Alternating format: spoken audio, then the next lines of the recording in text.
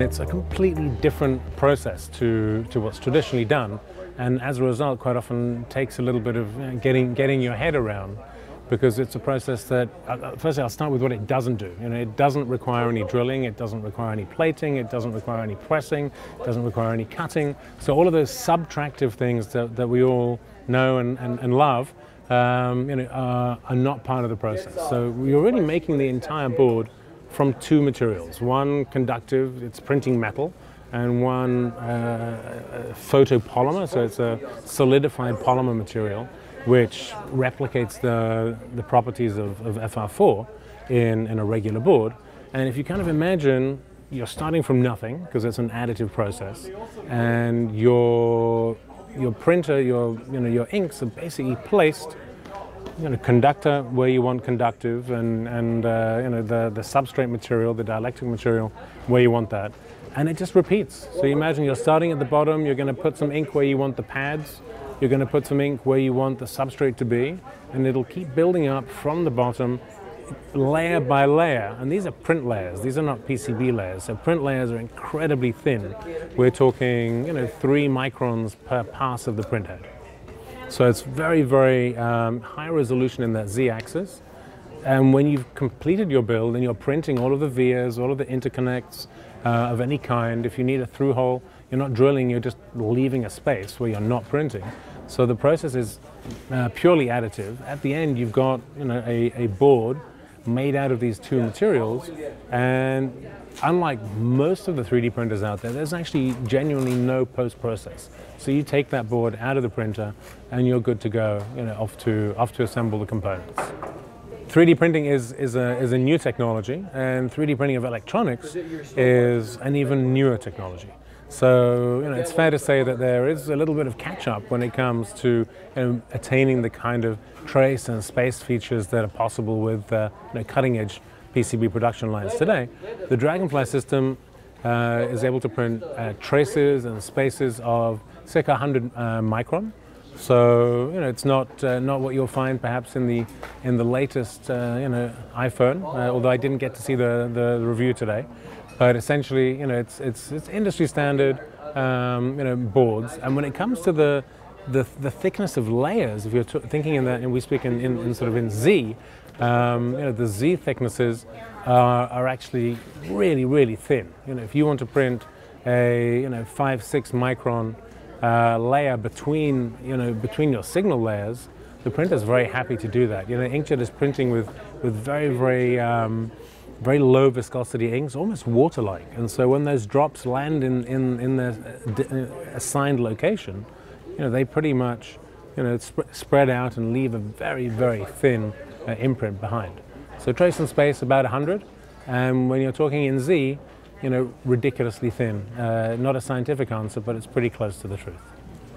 So the dielectric inks that, that are currently available with the Dragonfly system are engineered to be electrically as similar as possible to, uh, to more sort of traditional FR4 or, or phenolic type, uh, type dielectrics, meaning that they're not optimized for you know, the crazy high frequencies that you might otherwise uh, turn to your sort of PTFE type, uh, type materials for. That being said, um, you know, the real focus of the system is, is for, for rapid prototyping, rapidly cycling through, through ideas, and we, we do test our materials up to sort of 20, 30 uh, gigahertz, and you know, they, they maintain a very, uh, uh, very stable uh, dielectric performance all the way through to those very, very high uh, bounds. So they might not be the ideal uh, production material, but from a, an R&D perspective, they give you, they give you, you know, milestones that you can work for. So when, when you're designing for printing on the Dragonfly, really our, our goal was to put none of the effort on, on the designer uh, whatsoever. That if we do anything that, that is a, an interruption of their normal workflow, then know, nobody's going to want to use the system. So the printer and the software that we use is designed to be completely um, sort of backwards compatible with traditional Gerber and, and Excellon files. So if you can export in, in, in, Gerber format and you can export your, your Excellon, our software will essentially uh, port that over. You check the stack up there's one piece of information that's missing in those, uh, in those Gerber files, which is you know, the Z height essentially of any given layer, and the printer will uh, very much want to know what those are. But once you've input that information, you know, you hit, uh, you hit print and, and go and have a coffee. Or if it's a big board, maybe a couple.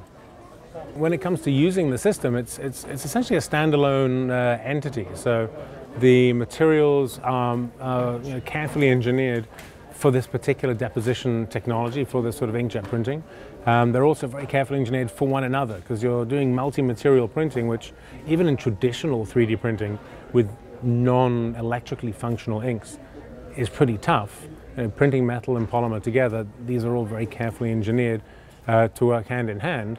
There's no need for additional tools to get this system to work. So if you've, you know, if you've got electricity uh, and you've got EDA software, um, and you've got your Gerbers and your drills, you know, you're going to be good to go. The Dragonfly platform has been in beta over the last year. We actually wrapped that, um, that beta program up in July, and we had systems you know, all over the States, in Europe, uh, and, and back at home in Israel as well. And the learnings from that uh, very collaborative work with, uh, with that cohort of users we had uh, has really led us to the point where we're launching the system commercially uh, now, so it's currently commercially available certainly from what we've seen, is you know places that have uh, a real need to save time. You know, printing in-house is a great tool for time compression. It's not just because you can print your final uh, you know, sort of prototype, uh, but it's all the little things you do on the way. You may have a couple of you know forks in the road. Do I do I solve uh, solve this issue with uh, with design A or design B? Maybe even quite early on in the in the in the ideation stage. So if you if you're under time pressure or you have a need to perhaps try a range of different, uh, different ideas out, this is going to be very, very quick. So, you know, if you're looking at traditional PCB, you might have the whole cycle being quite long. If you're looking at things like antennas, you know, you can print those as well. And quite often, you know, having a, a real uh, physical evaluation is going to be uh, very informative. There are other places, such as the in the defense community or even in some consumer electronics spaces, where security is really of the essence. And so if you're looking to keep your your projects as safe as, as possible and keep what you're working on in-house for as long as possible. Again, having that capability in-house to, to cycle through, to test, uh, and keep your, your, you know, your secure IP in-house for that little bit longer. So we found it's really, you know, it's, it's quite similar to the origins of traditional 3D. If you go back 10 years and you look at who was using 3D printing, and it was aerospace, it's space, it's defense companies, um, and places that have you know a need for rapid product development that you know are willing to uh, you know spend spend a bit of money to buy a piece of equipment that will get them to market that little bit faster. Electronics will be the same.